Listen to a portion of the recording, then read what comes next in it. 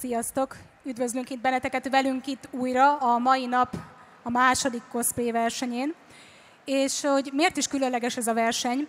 Nem csak azért, mert páros cosplayesek fognak föllépni, tehát páros csapatok lépnek majd fel kettő fővel, hanem azért is, mert ez egy olyan különleges verseny, egy magyarországi hazai válogató magyar cosplayeseknek, ahol a nyertes csapat részt vesz egy döntőn Kínában, Hangzhouban, tehát igazándiból egy kínai utazás is a tét, és ezen a versenyen kint Kínában, majd április végén, illetve május elején az ottani kínai animációs fesztiválon fogja képviselni Magyarországot, ahol igazándiból Kína legjobb csapatai versenyeznek egyben, és nemzetközi szintről, tehát több európai országból és Amerikából is vesznek rajta részt döntős csapatok. Tehát ez egy igen rangos verseny, egy igen fontos verseny, és alapvetően a tét is komoly.